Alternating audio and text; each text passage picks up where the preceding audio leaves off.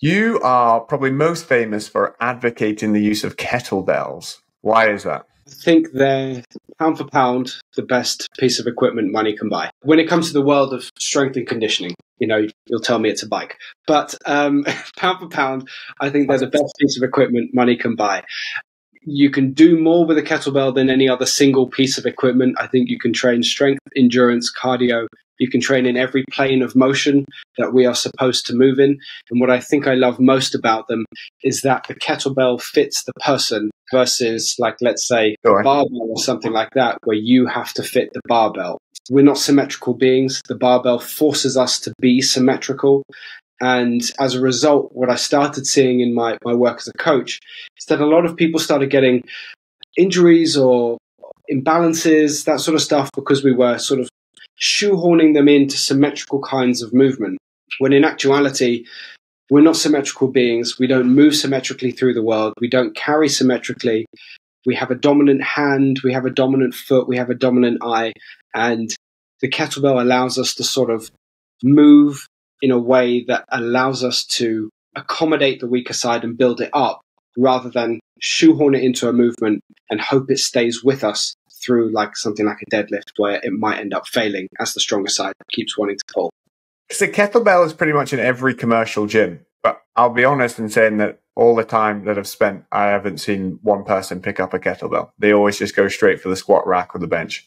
It's a it's a major bugbear of mine, just because I feel like if people really truly understood what that piece of equipment would allow them to do, they would have a better workout in a more efficient time frame and end up being a more resilient person to, to injury and to movement in general. They would have better balance, they would have better muscle engagement, and they would be stronger head to toe. I think so often when you watch someone walk into a commercial gym, they are moving inherently toward isolation based exercises.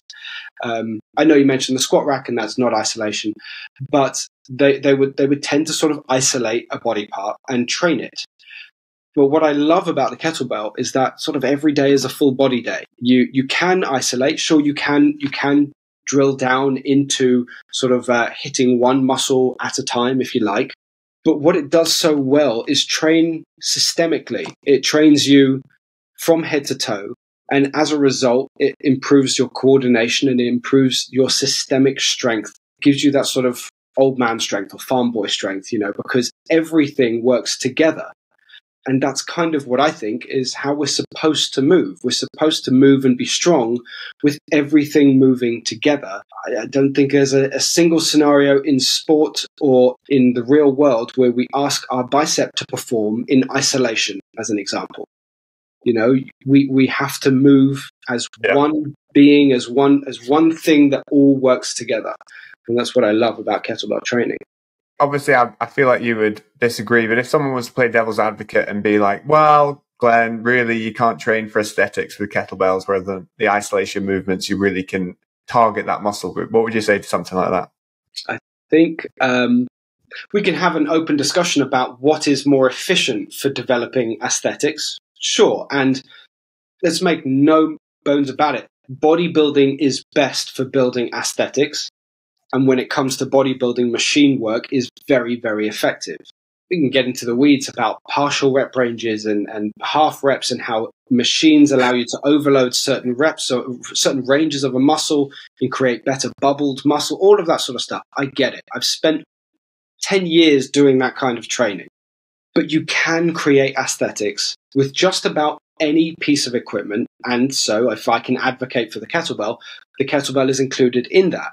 What's amazing is just that it requires a little bit of knowledge about how to train the body, about how to create meaningful overload, and about how to play to lever lengths because if you can create greater disadvantage, which is essentially what bodybuilding is about, we want to disadvantage the muscle maximally, create a, a great stretch on the muscle before we shorten it, then you can do that with any implement.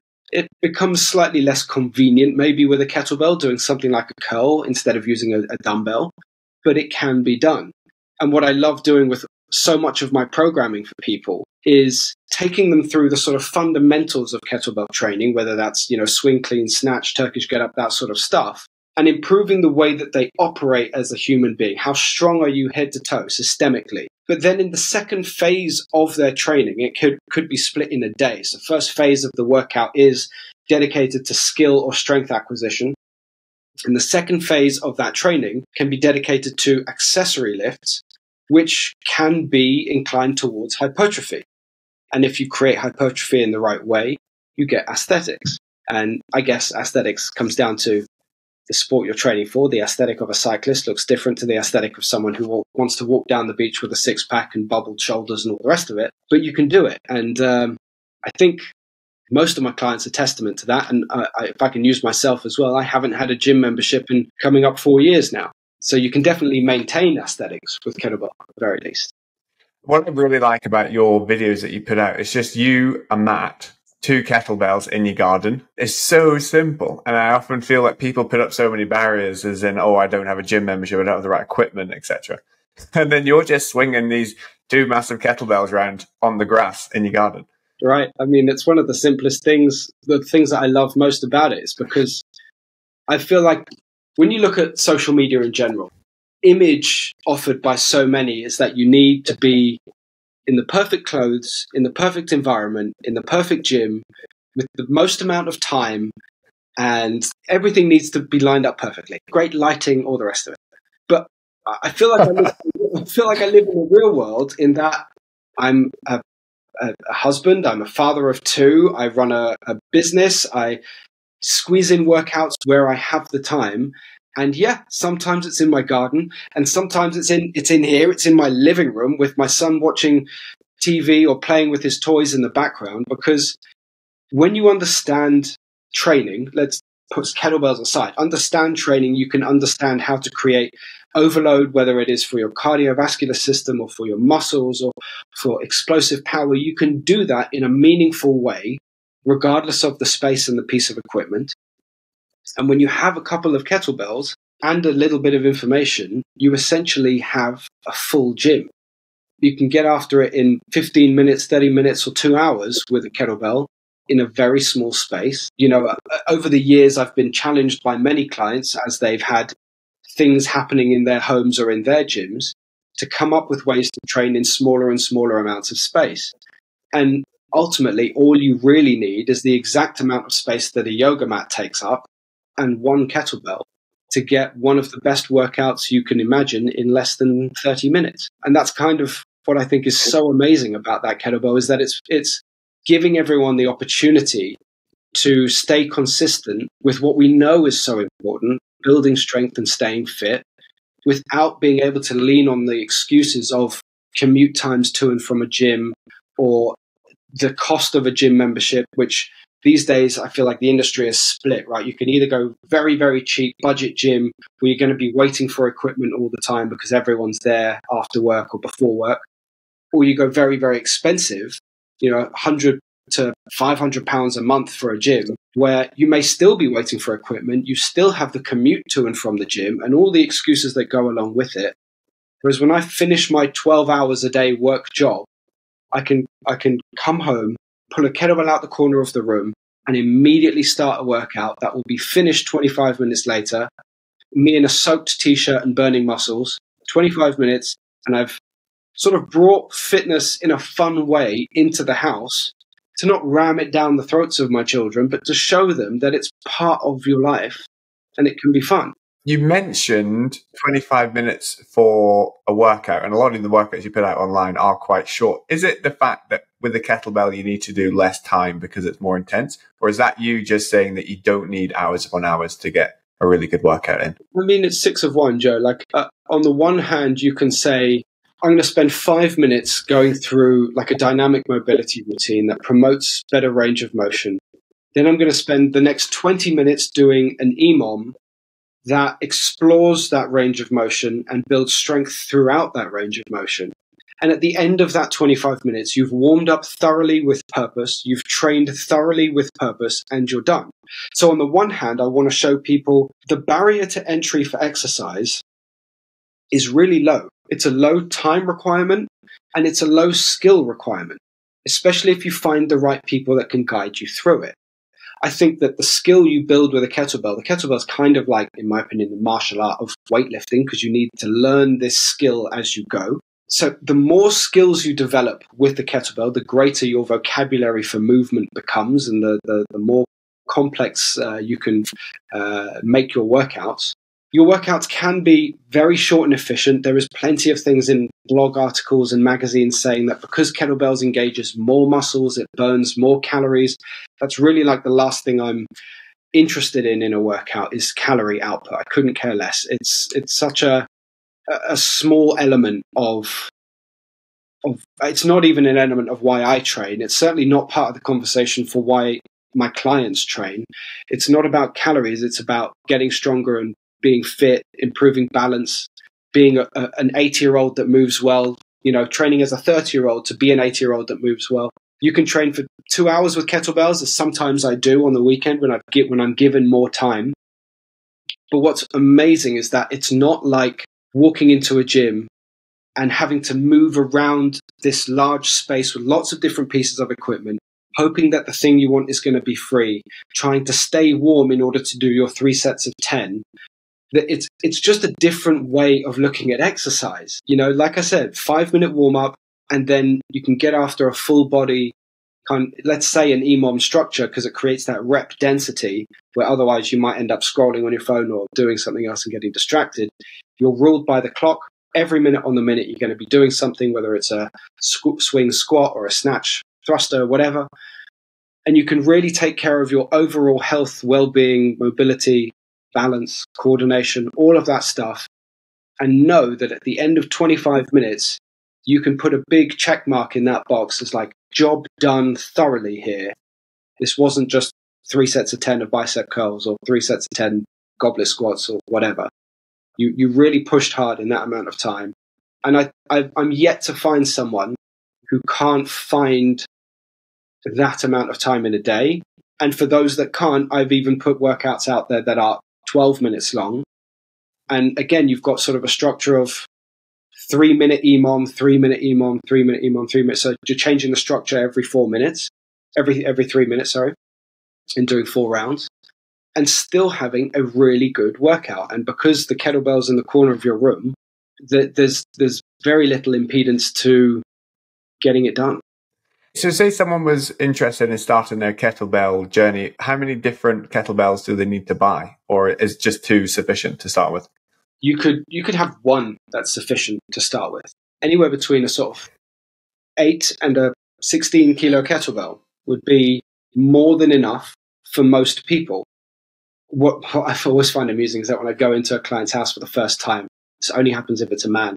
He'll point to his eight and go, that, "That's the weight for my missus." This is my." I'm like. Listen, I still use my eights all the time.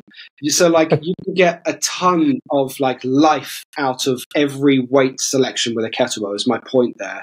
Whether you you can't really go wrong. Whether you buy an eight, a twelve, a sixteen, a twenty, and ju- if you just had one, you would have an incredible tool for training forever. And then as you add to that collection, so your ability to like include new exercises or include new intensities of training will increase. I think to answer your question a little more clearly, I would tend to suggest someone buy three kettlebells to start their collection if they can afford the space and the and the expense. And those three kettlebells would be a light, a medium, and a heavy, whatever that means to you because then you have, let's say, the heaviest something you can only really deadlift and swing for a couple reps and maybe do some double hand rows. You've got something that really engages your nervous system that much more. You've got something very light that you can learn and play and sort of be creative with. And you've got something that is a moderate weight that you can do for those higher volume sets, like more like hypertrophy, 8 to 15, 8 to 12 rep ranges, that's going to stress the muscle, but not be a scary weight that's going to stop you from wanting to use it. So if you had those three weights, possibly separated by about eight kilograms in between, or maybe more, that would be a great framework to start. And you would understand I've got a light, a medium, and a heavy, and how to sort of include them in your training. But it's hard to go wrong, Joe. It's hard to go wrong. People buy 8, 12, 16, and then you've got mismatched pairs or offset kettlebells to train you know, an eight and a 12 together. It's called offset training. I do it a lot with myself and my clients, and it's an amazing way to train as well. So it's really hard to go wrong. Kettlebell training seems to be right in the middle of the Venn diagram between functional fitness, also HIT, and also strength training. Yeah, like we've been saying, it, it can do all those things. I think for too long it's been in commercial gyms, but not taught or used correctly in commercial gyms. And I, I can't place the blame here with the the sort of member of the commercial gym. It's not their it's not their job to discover and to learn these things. It's the job of the industry to to educate. And when you go through those spaces, the personal trainers don't know what they're doing with kettlebells. They teach swings and things like that poorly. And as a result of not using kettlebells in any meaningful way in their own training, they're not really using it with clients in any meaningful way either because they're just sort of giving the client uh, equipment variety rather than using a tool that they really know how to use. So it, it creates this gap between like seeing the exposure, seeing this piece of equipment a lot and knowing what it's there for, how to use it. The gap is massive. Whereas everyone sort of knows what they can get done with a barbell or what they can get done with a leg press machine. That the kettlebell sits in the corner of the gym. More often than not, it's not a very good, like the way it's made isn't very inspiring. It's not very good. And so it creates an extra barrier to being used very well. You know, chrome handle, vinyl wrapped kettlebells create pulling on your forearm in cleans and slippery handles when you're using them. So it's like non optimal pieces of equipment being taught non optimally. It's created this like gap where people don't really know what to do with it. And it's a real shame. It's a, it's a huge shame. I think it's one of the greatest tools in the gym. Have you always been a kettlebell enthusiast, or is it something you've kind of, in your fitness journey, you've come across in time? I sort of became obsessed with it about six years ago. But I've done everything. Like I'm, I'm 37. I started training when I was sort of 12, 14, somewhere around there. I started. I was always involved in sports teams at school uh, and sort of tried my hand at everything. But then when I was about 12 to 14, I sort of thought, oh, I'll join my dad. I'll go to the gym. Why not? Let's do that. And the only thing that really caught my fancy was bodybuilding. So I started that. And what I used to do was, as this young kid in gyms, I used to walk around the gym and sort of see the guy with the shoulders that I liked or the quads that I thought were impressive or whatever. And I would ask them to teach me something like, show me what you do. Can you watch me do it? Can you improve the way I? And I did that for, I don't know, five, six years at the beginning. So from like 12, 14 years old until I was about 18 to 20 years old, I was just sort of reading, you know, Maxi Muscle and men's fitness and all those sorts of things, walking around gyms and talking to people who were the only metric I had was bigger than me. So if you were bigger than me and had an impressive body part, I was like, okay, let's. Uh. is impressive. I want to build a back like that. How did you build such a V taper? I want that. So I got into bodybuilding initially because that was sort of the way in to exercise. I think for, for most guys, you sort of want to look a certain way, feel strong, but look a certain way. But I also, like I said, always played sport, always did a martial art. So I had this element of like, how is my strength affecting the thing that I'm doing on the pitch, on the court, on the mats, whatever. And then it's just the gym sort of evolved for me. I sort of started getting really into powerlifting and trying to see how strong I could get with a barbell effectively. Uh, I learned a bunch about Olympic lifting. But because there was always this element of sport and martial arts, there was always a drive for functional, in inverted commas, because all strength is functional, but functional strength, moving in 360 degrees and going to the ground where bodybuilders never touch the floor, right? That I would always want to know how I could be strong from the floor as well as while standing on it, as well as while hanging above it. I kind of wanted to be strong everywhere. And kettlebells were always sort of on the periphery of my interest. And then I guess about 10 years ago, I started using them more very badly. I'm sure the videos are somewhere on, on like somewhere up online of me doing the swings and cleans you've ever seen. And uh, I think what, what got me into it like wholesale was um, I was using it a lot at home, but then then just before the pandemic, I started using them almost exclusively. And then the pandemic hit and all the gyms closed. And I was like really well positioned to have no interruption in my training. And so the collection grew. I mean, I'm surrounded by kettlebells now. Definitely, it definitely became something that just made more sense because while I was powerlifting, I felt that it made my body and my joints feel healthier if I coordinated my powerlifting with kettlebells and the sort of rotational based movements that things like windmills or Turkish get ups or any of that sort of stuff offer you, rather than being so rigid and stuck in place like a powerlifter. Um, I wanted to sort of move freely.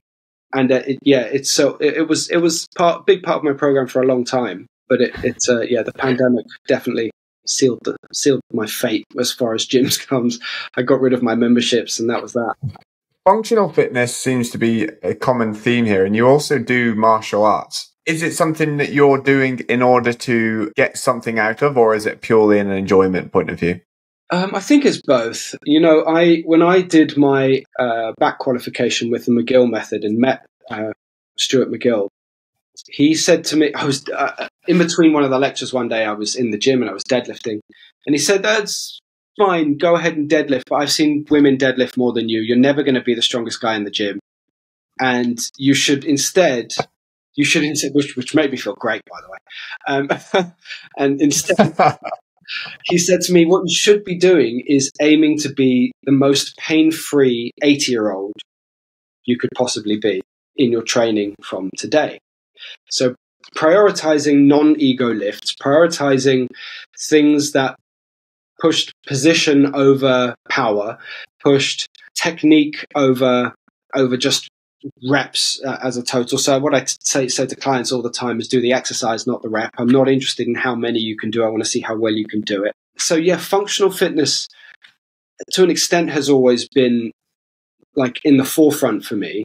I don't just want to be able to pose really well with the muscle that I have. I want to be able to sounds really sort of like douchey, but like use it really well. And what I mean by that is not be inhibited in life when I'm moving through the world with my son who's four and a half and might say, Dad, let's roly poly down this hill and then let's do cartwheels and can you jump over? I threw, the ball went over the fence. Can you get, you know, all of that sort of stuff. I want to be like a superhero in his eyes and be like, no, I can leap over that fence or I'll do cartwheels until the cows come home. I'll roly poly down this hill and skid. You know, I don't want to ever feel like I'm, I have fewer options in the world. I want to be mobile and strong enough to make it feel like everything is an option. You know, we live by the Thames. I want to be able to jump in a boat at a moment's notice and row. I want to be able to jump on a bike and cycle. I want to be able to do everything. But vanity is a part of it too. So I want to look a certain way as well. And I want to feel like I'm proud of my physique at the end of it, you know? You mentioned wanting to be the best 80 year old you could be, and Healthspan something that's really kicked off recently, especially with Peter Attia talking about this topic. He advocates the balance between strength training and also zone two training. Do you supplement any of your kettlebell work with cardio? Kettlebell work is my cardio. Now, I don't mean that to sound glib. What I mean is about 18 months ago, I realized that I had only explored, although thoroughly, I'd only explored kettlebell training down one avenue, and that was hard style kettlebell training. And so what I did was I sought out one of the best uh, kettlebell sport athletes in the world and asked her to become my coach. I tend to find that when it comes to martial arts and things like cardio endurance events, more often than not, women are going to be better coaches because they don't have the the mindset of muscling their way through something from the get go. They, they kind of approach things like this with an, a, a lower, lesser ego, less of this sort of like sense of, well, if I can't do it, I'll just force myself harder. They, they, they focus more on technique. They focus more on mindset. They focus more on, on position and breathing and all of that sort of stuff. And so when I've learned Jiu-jitsu, it tends to be actually not from women, but from smaller athletes rather than 120 kilogram muscle bound monsters. I tend to have learnt really well from 60 kilogram guys in jiu-jitsu. And the kettlebell sport trainer that I, that I started working with, Svetlana, She was the 56 kilogram women's sport kettlebell world champion. And she took me down the road of learning kettlebell sport. And that zone two training, I mean, that's the hardest version of zone two training that I, have ever done. And I still maintain the program. And bear in mind, by the way, I've done the tough mudders, I've done marathons and half, well, half marathons. I've done Prudential rides on the bikes, 100 mile rides on the bike. I, I've done other forms of cardio. I've done, you know, I've explored other avenues of cardiovascular training and of movement, and I haven't fallen in love with them. They haven't worked for me in, in a long term sense. And, and even now, there's no way that I could get on a bike for four hours or do two hours of training or an hour of training. I just don't have that kind of time. But the kettlebell again is adept to kettlebell is, is adept to, to, to cardiovascular training.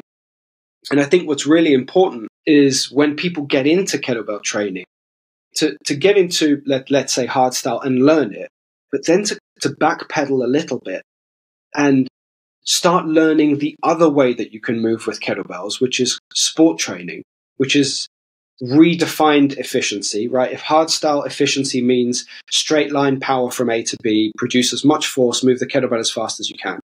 Kettlebell sport training is about efficiency. How long can I move this this weight for? Can I maintain a long cycle, uh, you know, swing, clean, jerk for 5, 10, 30 minutes non-stop without putting the kettlebell down.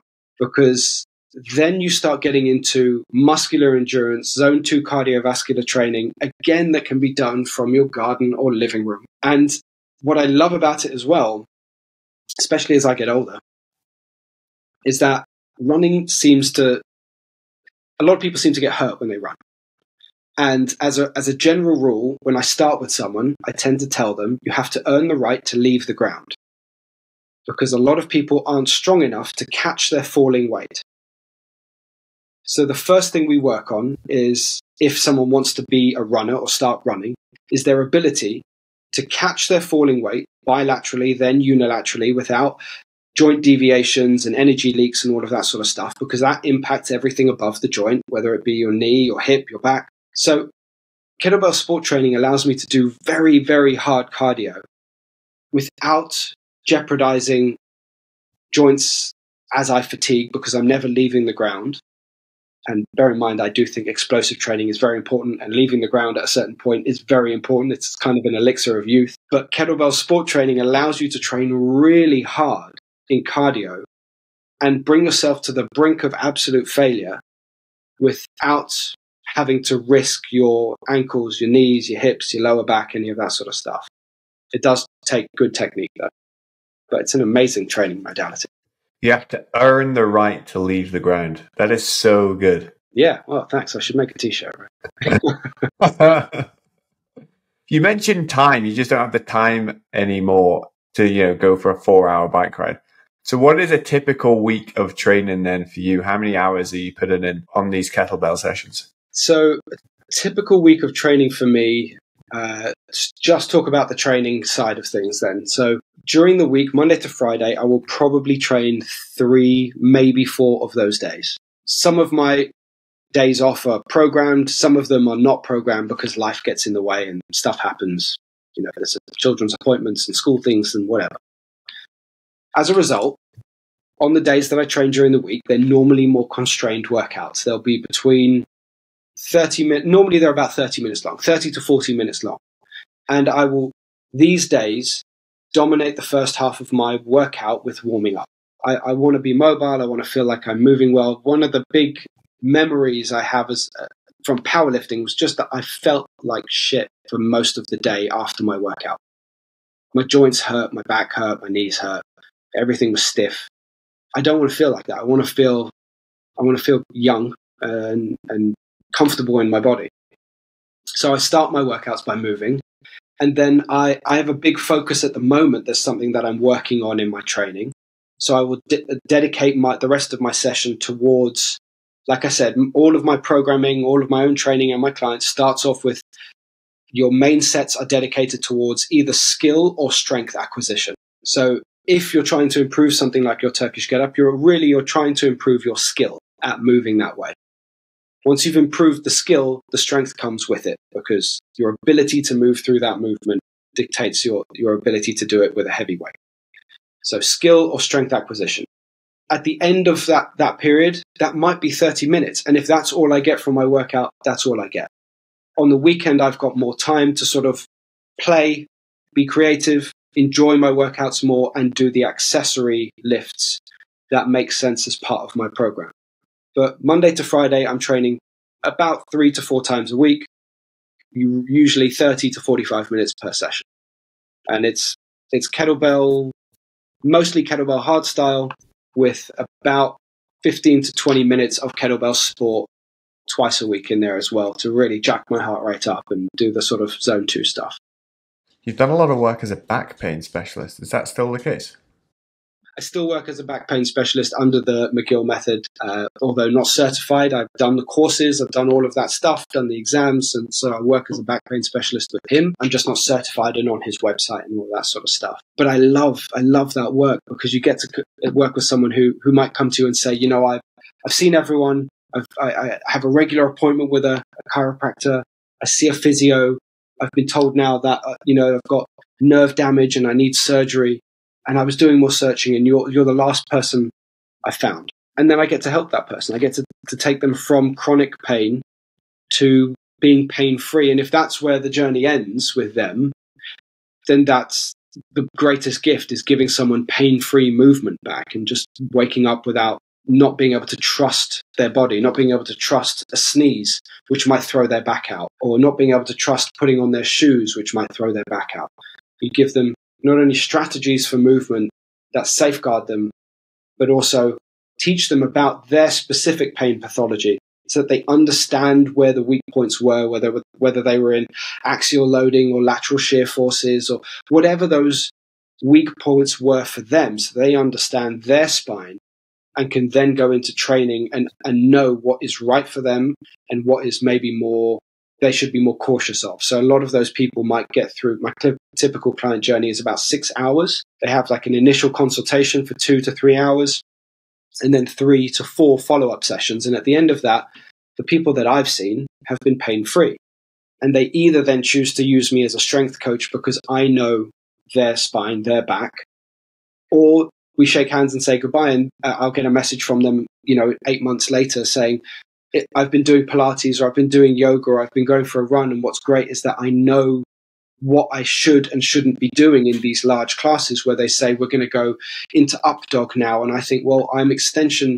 I was extension intolerant, so I'm going to do a slightly regressed version of up dog so that I don't go into extreme spinal extension and possibly aggravate something and continue to work on rebuilding my strength in range of motion in extension as well as flexion and all the rest of it. But they understand their backs a little better. So that's what I was doing with that. And I still see back pain people.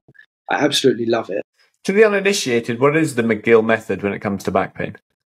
I think uh, it can be best described as a thorough diagnostics process.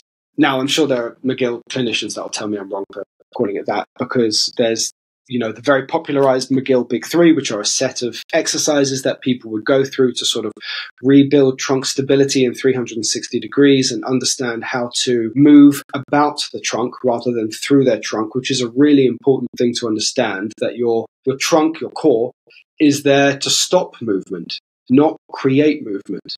It's there to be a stable point in your torso, in your body, so that your limbs can create that movement. So whether you're throwing a punch, kicking a football, swinging a kettlebell, the movement happens about your torso, not through it. And so the McGill method is really something that gives practitioners the understanding of the anatomy of the spine, different pain pathologies, and how they how they um, exhibit themselves to take someone through a very detailed diagnostic process. It's both uh, interview based and uh, exam- physical examination based, something called pain provocation tests, which sounds very scary because the last thing someone wants when they're in back pain is to be provoked into pain. But that's a bit of a misnomer. It's not you're like you're provoking someone into pain, but you need to understand if a certain movement, if a certain loading position makes their pain better, worse, or no different. And with a simple sort of decision tree that comes out of each one of those tests, you get a sense of what their spine tolerances are, what might be happening anatomically in their back. And at the end of the diagnostic process, and only at the end of the diagnostic process, do I then look at scans and MRIs and other reports because so often those can be red herrings. What I've said to clients that ask me why they, why I don't want to see their MRI first is is because if if you were an alien and I showed you a picture of me that someone took when I jumped off a wall, you would see me in midair and possibly assume I can fly because that's just a snapshot in time. And it actually doesn't show what's happening to the spine in to the body in motion, or if we can refer it back to the spine, to the spine in motion. So the MRI is a snapshot in time. And what's more important is understanding what happens when the spine is in motion, because that's how it is 99% of the time. It's in motion. What happens when it is under load and how it creates tension to keep the, the, the processes of the spine safe and the body safe. So those things are more important than just looking at an MRI. And the other thing is an MRI may actually be showing you old injuries that still show up. So again, if you if you looked at a picture of someone with a big scar on their arm, but didn't quite understand what you were seeing, you might think that was a horrible cut and like an imminent injury instead of an old scar. So that's it's really important that, that the MRI informs backward informs the diagnostic process rather than informs it before you start. What are the most common causes of back pain that you've seen through all of your patients that can be avoided through deliberate process? Hmm. Well, wow, that's a tough question because they've been very, very varied. And something as simple as like the positions we habitually fall into can be the making or breaking of a healthy spine. You know, picking your kids up the wrong way over and over and over again throughout the day and then and then deciding to go to the gym and do a deadlift not understanding that what you've been doing is creating like shear forces throughout the day by lifting your kids with a rounded spine and then you're about to go and test that in the gym by putting a, a heavy barbell in front of you and try and lift it just understanding the stress tolerances of your back is quite simply i think one of one of the main things that lead people to getting into pain. Obviously if we can take out traumatic injury because that is such like an obvious one that like if you get into a car crash if you get knocked off your bike if you if you fall off your skateboard and whack your tailbone there's there's going to be certain traumatic events that create back pain.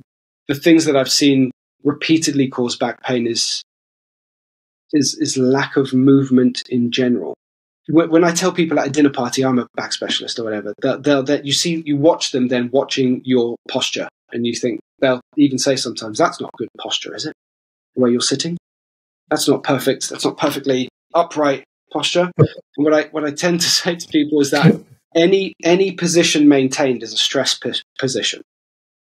Any position maintained is a stress position.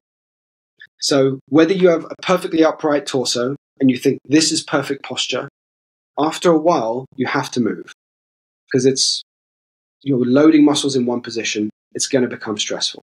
And if you can extrapolate that out on that thought experiment along that, that sort of spectrum, is if you have someone habitually in a same position at their work desk, let's say you're at your work desk, then you go home on your phone, and then you go home to your TV, and then you might read a book. Every single position has you in this like hunched, slightly stressed, rounded shoulder, flexed lower spine. It, it's overloading that one position throughout the period of 24 hours.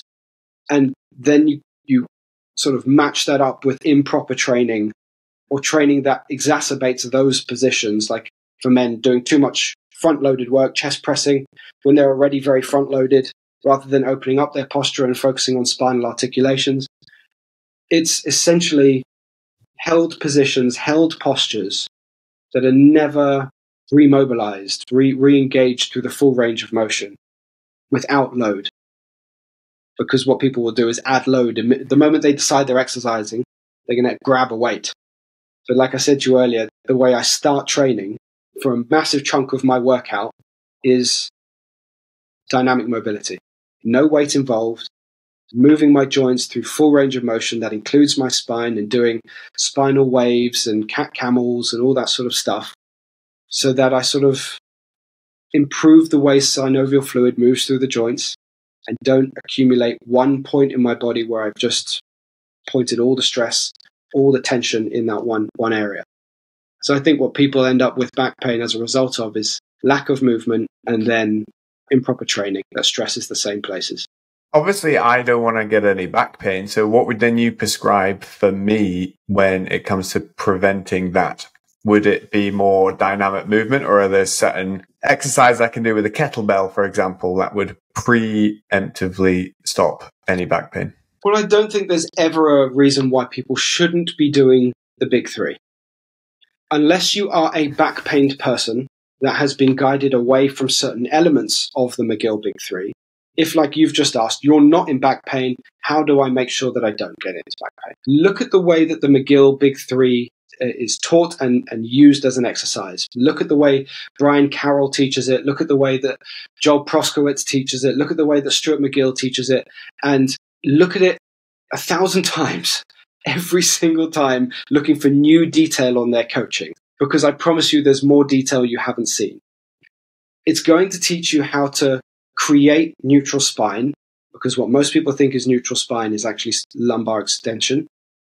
And understand how to create movement around that neutral spine, and then create strength through your entire trunk as a result of those three positions.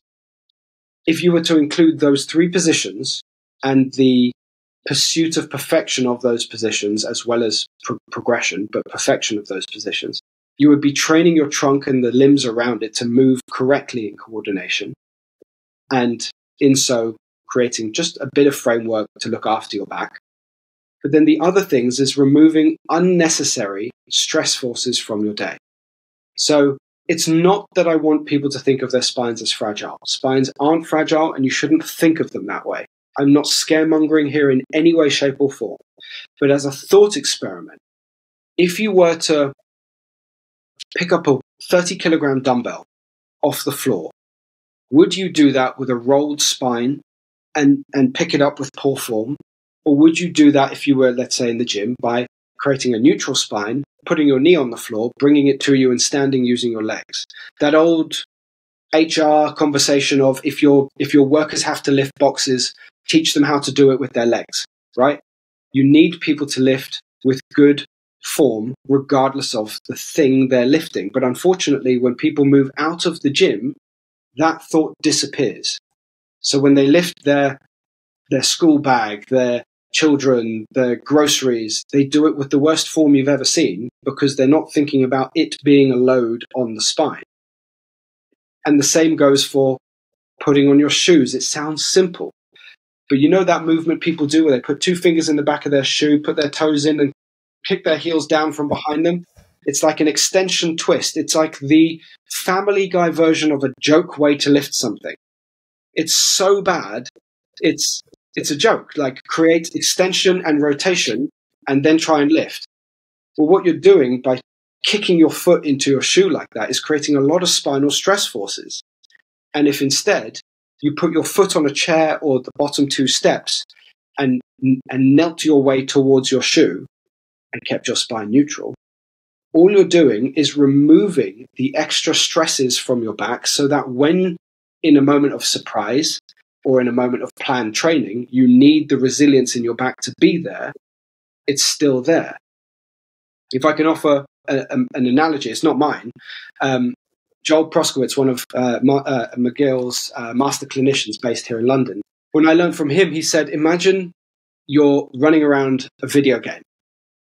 And in this video game, you've got a life bar, like in every video game, and it goes from green down to red. But because this is real life, you can't see your life bar. Okay?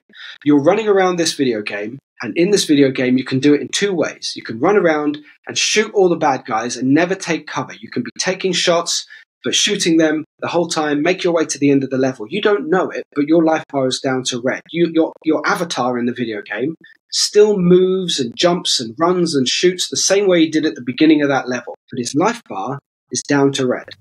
The next level is the boss. And all the boss does is nudge your character once and he dies because his life bar was at zero or at red. If instead we went back to that same level and you ran around, took cover, picked your shots carefully, killed all the people in that level, and got to the end of that level, and you'd only taken a couple shots or none at all, and your life bar was still at green. When you get to the next level and it is boss level time, let's call that boss level deadlift day in the gym. You can lift that weight a bunch of times and have slightly imperfect form or push yourself slightly harder than perhaps you should. And that will be the thing that knocks your life bar down but doesn't create an injury. Then you move away back into your life, moving well. Your life bar replenishes back up to green, recovery, muscle regrowth, etc., hypertrophy, whatever. But never going below that red part of your life bar because you treat your back well. So maintaining yeah. that resilience in your back by making these little decisions correctly. And initially, it feels like you're moving around like a little bit of a robot, but it's not robotic, it's intentional. So, the way if you've got a low oven, if you're picking something out of the oven, it's not a, a twist over, bend off to the side, one arm. You might want to squat down or just tip from the hip with a decent position and posture. It's not that you can never move with a rolled spine again. It's just understanding that actually some things are going to have a negative impact on your back. And that doesn't mean you get injured. It just means that when you step off the curb funny later and your back goes and you think it's the curb, it's not that. It's that you've been treating your spine poorly for God knows how long. And if you treated it well, then the stepping off the curb funny, your child jumping off the, the climbing frame and you having to catch them at a funny angle, the deadlift that goes wrong, those things don't create injury because your spine is resilient. That makes so much sense. Is it anything to do with back pain correlated to why you wear minimalist shoes, or is that just because you prefer to train in them? Uh, it's both. It's to it's it it is to do with that. In that, like most shoes are unstable. It's like standing trying to do a workout on like a, a small pillow. And if I told you to take your shoes off and then put a small pillow underneath you and told you to be really stable and squat heavy, intuitively you're kind of like that doesn't make sense but that's what most that's what most Asics or Nikes or whatever. That's what they they have a spongy sole, and because we don't place our weight evenly through a foot through the shoe, it's unstable. It creates this like rocky surface for you to to move on. And so, many many years ago, I read the book Born to Run, and as a result, bought my first pair of uh, Vibrams, the one those like toe shoes, and I walked around in them for years and then moved over to Vivos when I read more research saying that something in between your toes is not great for proprioception because, again, you're not supposed to have something in between your toes all the time. And so I moved to just a wider toe box shoe. And A, it creates better nervous system engagement, and you can only be strong if your nervous system is well wired. And if my nervous system is connected thoroughly to the floor, then I can feel what I'm doing. I can feel where I should place my balance, how I can get strong, how I can build tension. And again, like I say to my clients, you can't, you cannot press heavy unless you build a strong foundation. Everything underneath that weight has to be rigid. So if your feet are rocky, that's the first thing that's going to undermine that rigid foundation.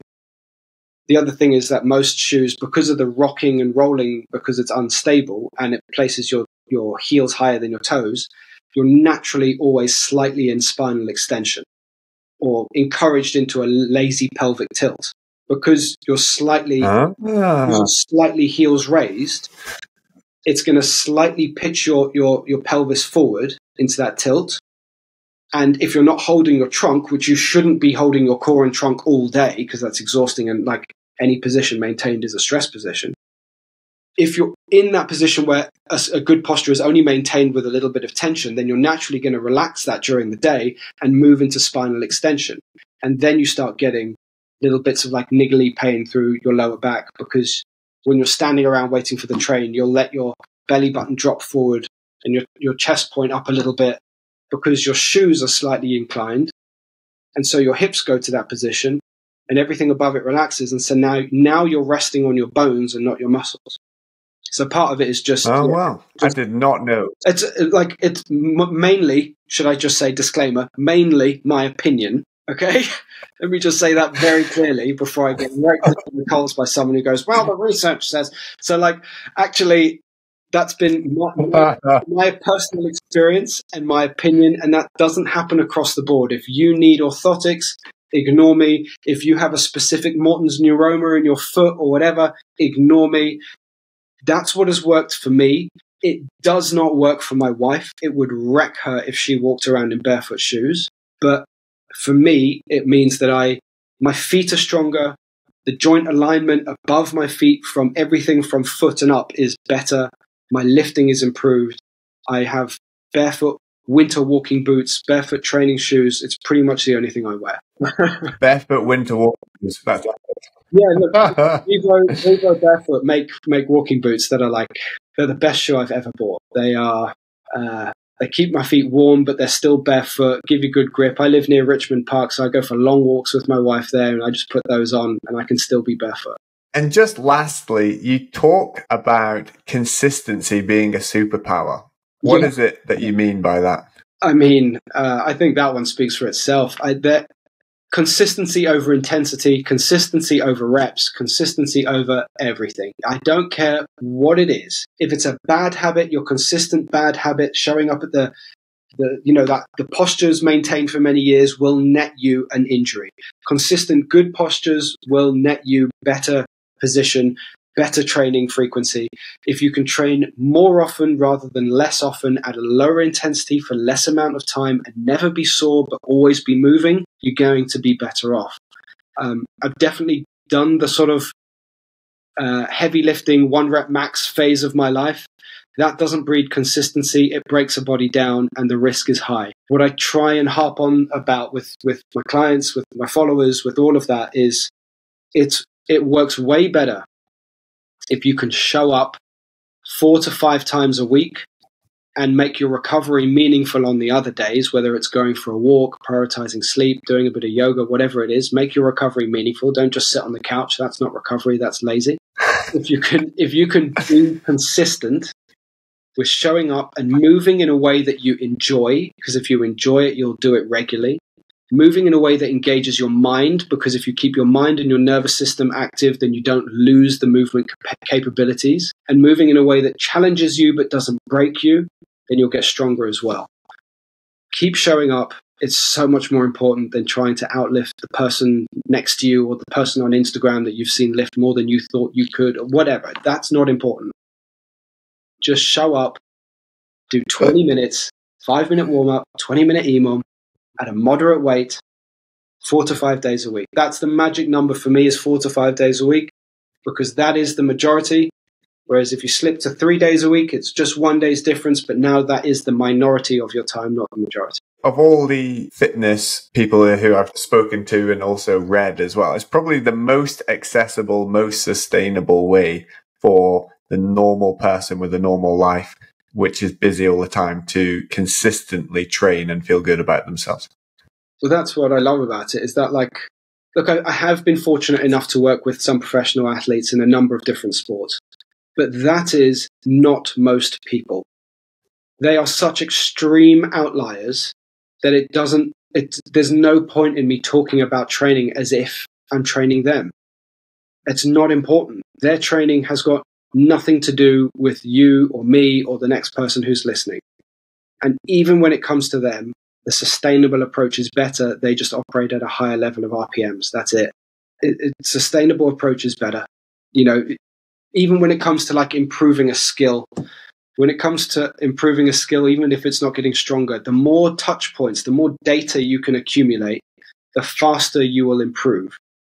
And so, so often on one of my recovery days, if I know that I'm working on, when I was working in specifically kettlebell sport, if I'm working on just the sports snatch, I will grab 12 kilograms and do 300 reps of a sports snatch. And that is it. That's my recovery. That's all I'm doing. Now, that might sound like a lot. I'm not telling most people to do 300 reps. I've been training with kettlebells for a very long time and training in general for over 20 years. For me, that is recovery. I feel no no impact from that workout whatsoever. It's just that I've been able to move and collect 150 data points on each hand for how to do the kettlebell snatch so that when I next come to it in training, I've got 150 data points on each hand, more information to deal with. And that's, that's what consistency is. That's 10,000 hours to become an expert. It's consistency. You can't do it in a day. Words to live by. Right. Glen Weinstein, thank you so much for coming on the show. You have been terrific. And uh, I suspect there might be a spike in kettlebell sales on Amazon coming very soon. Cool. Well, check out Bulldog Gear. I don't know, don't work with them, but they've been who I've been buying kettlebells from, and they're really good. It's hard to find good quality ones, and they make good quality competition and good quality cast iron. And if people want to check you out, having heard all about the kettlebell stuff, where's best place to find you? I think the best place, the place where I'm most active is Instagram. It's the KB6 on Instagram. And when it comes to those short workouts, there's so much, whether it's on my YouTube, there's a link in my Instagram link tree to my YouTube as well. I've got a ton of free workouts there. It's in a playlist called Free Programs. Couldn't make it any simpler. They're, they're broken down that they're really easy to get through. You don't have to know how to do a bent press and bottoms up training and complicated stuff. It's simple, low barrier to entry workouts. I have a course as well, which teaches people how to use kettlebells and then using those lessons takes them through 30 minute long workouts. I practice what I preach, Joe. I really try and put out the stuff that is 25 to 30 minutes per workout. There's no excuse. And that course is beginner, moderate, intermediate, and advanced. So as you go, the point isn't in the advanced level to try and make you vomit. That's not it. It's not advanced uh, cardiovascular range. It's advanced movement options. So you might be doing things like bent presses in the advanced range, but I've taught you how by then. And in the beginner, you'll go swing, clean, squat, press. And then the next one, you might learn a snatch and so on. So you begin to learn how to use your kettlebell. And at every stage, you will employ that lesson in a workout to actually engage with that lesson straight away. And uh, it's simple 30 minutes per workout. But the easiest way to find me is on Instagram, the KB6, and all my links are in my link tree for free workouts, programming, YouTube, all that sort of stuff. Amazing. Well, Glen, thanks very much for coming on the show. Thank you, Joe.